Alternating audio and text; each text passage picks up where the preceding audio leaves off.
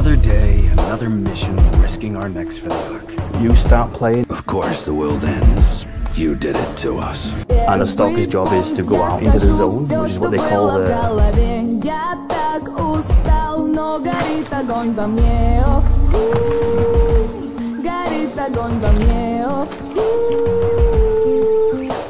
Во-вторых, я не буду никогда тем, кем захочешь ты. Я один в этом море, мои правила простые. У, А правила простые. У.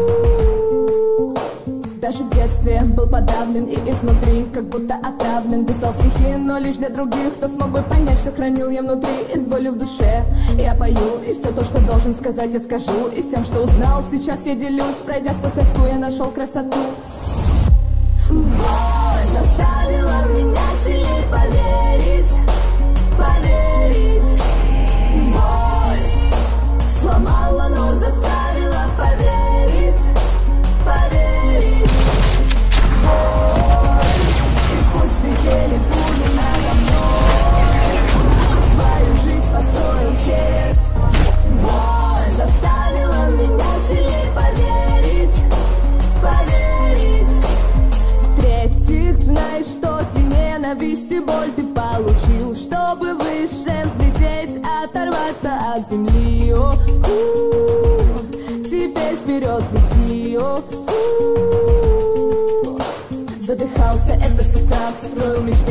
небесах. Падал на землю так много раз Но только огонь во мне не угас. Мои чувства росли и горели внутри Так что больше не мог их держать. Заперти, так взлетай же Сейчас. Как Боль заставила меня сильнее поверить Поверить. Got that stone cold fuck.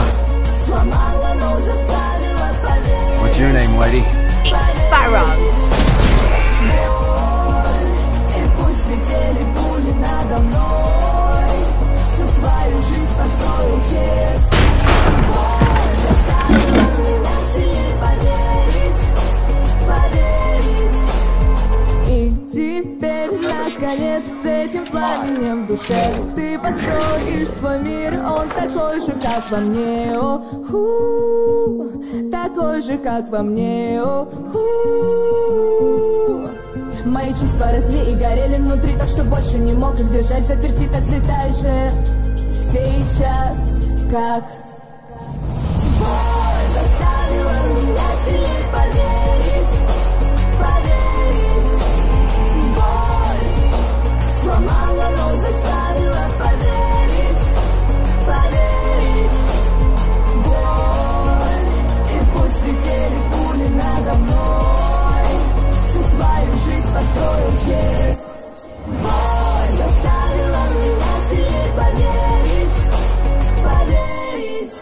боль. Именно так переводится эта игра. Именно боль. Эй, йоу, друзья, мальчики, девочки, дамы и господа.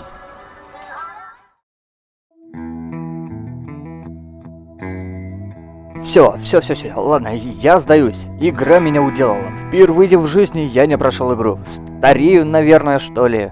Теперь психую из-за того, что удалил это дерьмо. Я не могу в это поверить. Меня уделала какая-то второсортная убожественная посредственность. Мутанты Zero Eden. Дорога... Не, не ад. К сожалению, на свалку там, где ей и место.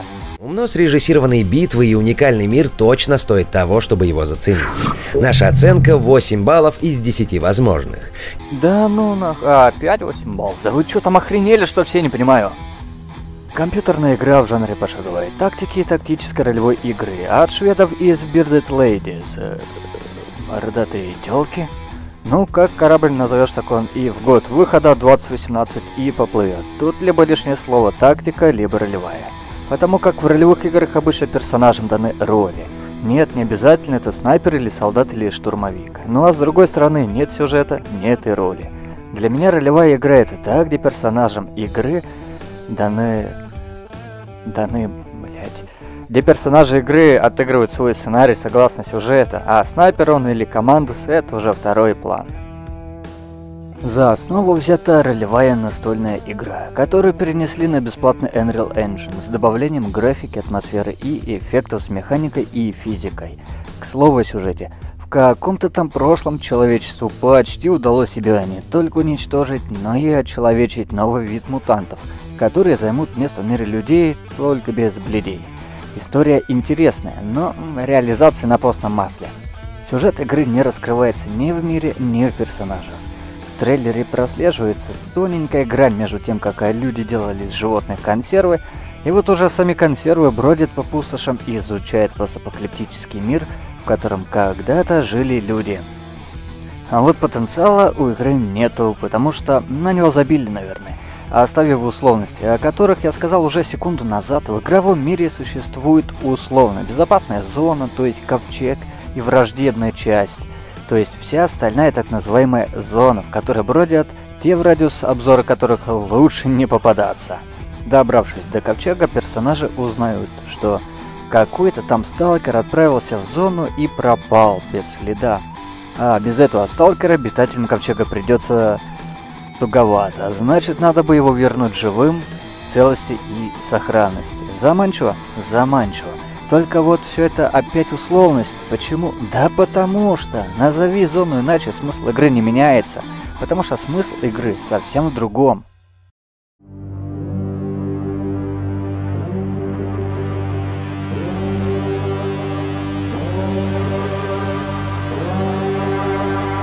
Визуальная игра выглядит достойно и однообразно.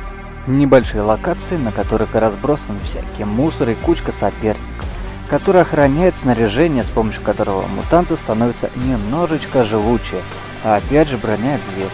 И в какой-то момент уже неинтересно исследовать даже маленькие локации. Почему? Да потому что. Потому что смысла нет, задания на ковчеге не дают. Это было бы интересно, если бы мутанты нашли аккумулятор, который потом может разобрать какой-нибудь техник и воткнуть на какой-нибудь ствол. Или вот всем понравился бумбокс, котором есть слово бум. А, значит это взрывчатка, говорит один из персонажей игры. Ну притащите его на ковчег и посмотрим на дальнейшую реакцию его обитателей. Нет, нахер нам это нужно? Нахер нам придумывать и развивать и сценарий, и механику в едином целом. У нас есть мутация, которая привлекает внимание всех врагов на локации, а использовавший эту способность занимает внимание на себя. Вот тут этот бы бумбокс и мог бы пригодиться. И в сценарии вещь поучаствовала, и в игре без реализации не осталось бы где-то там в уме. А так собирать мусор по одной единице – такое себе занятие. Сначала интересно, а потом, ну его нахрен. Наших героев, согласно легенде, нашли и приютили на ковчеге. Но по причине, что они не такие, как все, то всяким там хрюшам, нюшам, лосяшам и барашам будет интересно свое происхождение, которое будет объясняться в финальных титрах. А пока отряду под управлением геймера придется наигрывать ту его кучу игрового геймплейного времени до раскрытия развязки. Вопрос. Если в игре нет сюжета, если персонажи не отыгрывают свои роли, то чем они занимаются? Может они вместе с игроком смотрят анимационные ролики, вставки там всякие, мини-фильмы? Нет, этого ничего нет. Никаких анимационных заставок нам не покажут. Вместо этого будем смотреть на скриншоты низкого разрешения, растянутых до 4К. В этом есть плюс, читать демотиваторы не придется. Закадровый голос будет объяснять, что происходит на скрине. А вот русскоговорящим в 2019 году все еще придется уповать на субтитры, потому как русской озвучки в игре не будет. Русский язык не является ни мировым, ни распространенным так как носители русского языка сами русские в школе не учили, а в игре отсутствует к тому же водка, Путин, медведь и балалайка. А если нет клюквы, то и переводить нахрен на русский не нужно, но... И это еще смешнее выглядит, когда депутаты пытаются запретить и игры, и интернет, и заимствование английских слов. Предлагаю в Думе ввести обязательное чтение на лето. Что почитать? Например, все тома Большого академического словаря. Не, ну, меня-то в школе заставляли читать «Войну и мир», а эти чем хуже? Пусть учат великие могучие, может, чуть-чуть умнее станут. Возможно, тогда перевод на русский язык в играх станет обычным и естественным явлением. без которого ни одна игра не сможет обходиться. А актеры тупых сериалов начнут наконец-то озвучивать качественные игры. И качественно, чтобы интересно было играть. Даже в такую атмосферную игру, как Mutant Year Zero, без этой самой атмосферы. Нет в игре атмосферности, есть лишь условности. Зачем сталкеры бегают в зону? Правильно, собирать всякий там хлам и хламушник, и любоваться на остатки роскоши былой человеческой славы, чтобы понять, как жили древние, и что из прошлого найденного может пригодиться в настоящем будущем, вступая в конфликты за ресурсы, а чем ценнее ресурсы, тем они лучше или охраняются, или недоступны по причинам, например, радиации, ну, как правило. Ну, к примеру, ничего подобного в игре даже нет. Весь мир условный.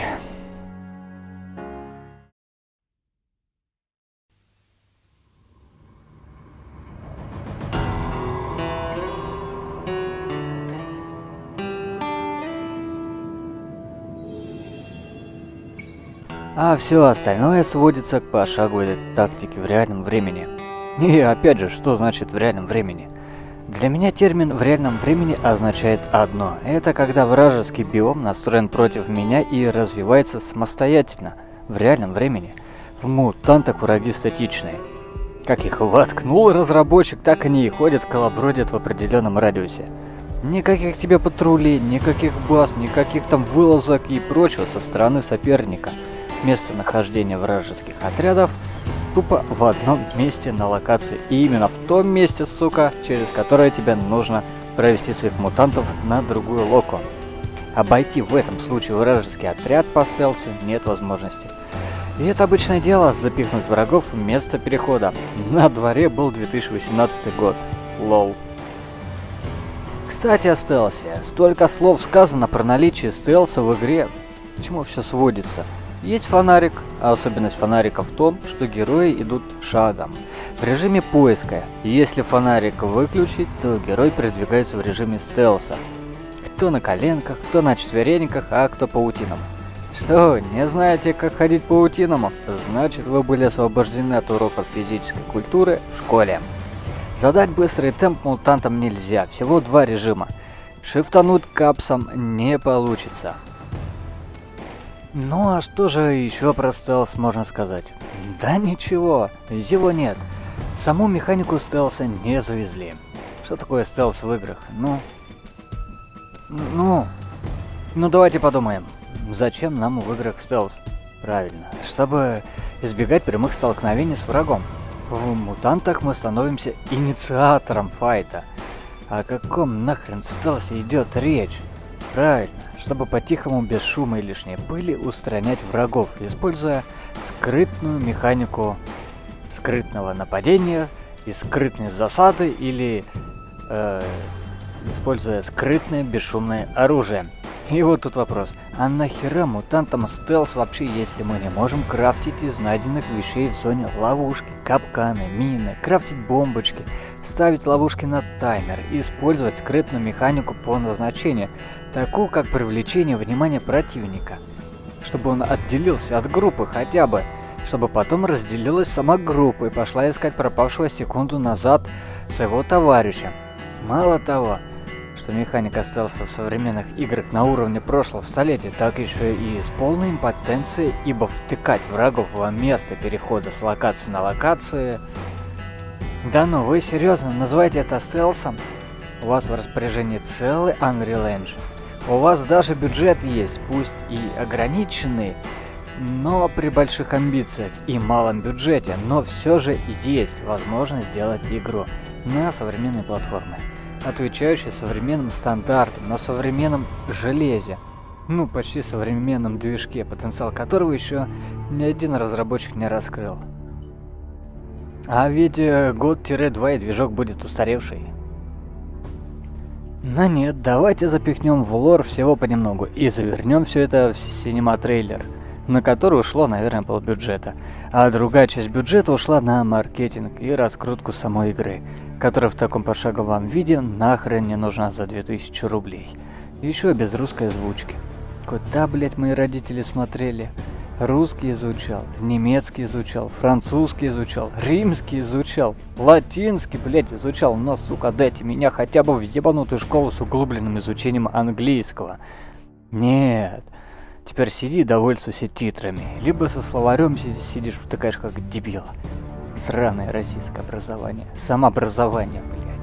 За что деньги платят в институтах? А хуй его знает. Чтобы ректор на инфинити гонял и кальян подтягивал между парами. А озвучка в играх это большая проблема, на которую нужно обращать внимание. И тупой перевод от всяких там Fargus, Softlibus тоже нахрен не нужен, а с другой стороны и без озвучки-то тоже ни хрена не понятно, потому что читая титры легко потерять смысл происходящих действий на экране. Или поймать хедшот, отвлекаясь на титры. Как и стелс, все условно в этой игре. Но еще печальнее выглядят мутации героев. Они похожи. И уникальных мутаций в игре нет, и это хорошо, на мой взгляд. Проверять, конечно же, не стал, но если на всех героях можно воткнуть одну и ту же мутацию, то под контролем можно держать большую часть соперников. Тем самым уйдет меньше времени на устранение патрулей, а это хорошо. Но я лишь предполагаю, в Mass Effect Andromeda это не вызывало никаких лишних эмоций или зудящих ощущений. Там можно комбинировать на свое усмотрение. В мутантах с мутациями проблема, их мало и они повторяются. Другая большая проблема – игра не оставляет игроку шансы исправить ситуацию, если геймер вдруг где-то не так что-то вкачал, какую-то мутацию или навык. Тут все по старинке, начинаем игру с самого начала. Хорошо, что не все 10 часов страдали, а только 8. После понимания и изучения механики приходит острое желание переиграть с самого начала, потому что чем глубже дальше в зону, тем и сильнее враги, и их становится все больше. Распределение членов небольшого отряда вокруг вражеского с целью засады никакого успеха не принесет. Есть шанс крита и есть шанс попадания. И этим все сказано. Игру делали не инопланетяне по космическим технологиям, а люди Земли. А значит, искусственный интеллект тоже может ошибаться. И даже можно наблюдать такую картину. Ты промахнулся, враг промахнулся. Ты промахнулся, враг промахнулся. И так до бесконечности, пока ты не изменишь положение своего героя. Еще одна удивительная механика, которая заставляет плакать. А как вам стрельба сквозь текстуры? Ты не понимаешь, как тебе поставить персонажа снизу, чтобы он был за укрытием и мог стрелять Пусть не в потолок, но в кого-то, а враг свободно с потолка стреляет по пробегающему мутанту на первом этаже здания. Великолепно! Браво! Я херней, наверное, страдал минут 40, чтобы совершить один единственный ход, который приведет к поражению. И еще следующим таким десяткам по 40 минут. Вот как нужно наигрывать геймплей. Не достарались вы разрабы, а то игра могла бы войти в книгу рекордов как самая бессюжетная, с самыми маленькими локациями и по количеству, и по качеству, и по размерам, но с самым наигранным геймплейным временем, которое тратится впустую. Молодцы, что сказать. Сидишь, ломаешь голову, как поставить или как расставить мутантов, кого застанить, кого взять под контроль из врагов, кого первым слить. И тут нам на помощь приходит рандом. Ура, ёпта! Потратить 4 хода на добивание соперника с low HP? Да запросто! Road to Eden. Игра года. Игра, в которой компьютер подыгрывает компьютеру.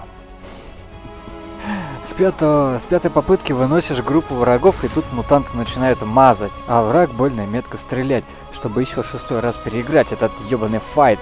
Да ну нахер такие игры. Игра, где упор сделан не на сюжет, не на атмосферу, а на тактически пошаговое сражение, где слово «тактика» ну явно лишнее. Конечно, найдутся игроки, которые с первого раза без единой потери прошли эту игру. Сначала и до, до самых финальных титров. Большое вам, ребят, уважение. Только это все бред. А Меня еще в Tomb Raider бесило, когда игра меня заставляла вернуться на уже изученные мною вдоль и поперек локации. То снаряжения у Лары не хватает, то руки у Лары жопы, то Ларе лень, то Лара устала, блять, тут то же самое. Под носом на второй или третьей локе шастает огрызок 50 уровня. Сука, в тактической игре есть уровни вашу мать, блядь. Повышая которые при помощи снаряжения уже выносишь соперников на равных, переигрывая в третий раз. Почему в третий? Да потому что перекрафтиться в игре, как это великолепно сделано в Андромеде, в мутантах нельзя. Только с самого начала начать игру.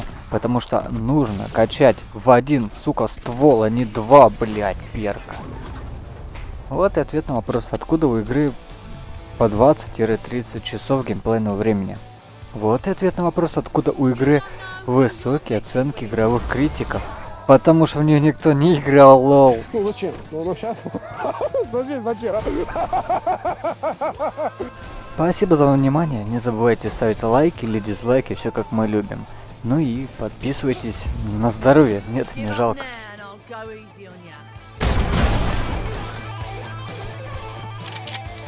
Check out that stone cold fox. Looks like we're not the only mutants around here. What's your name, Whitey? It's Pharaoh.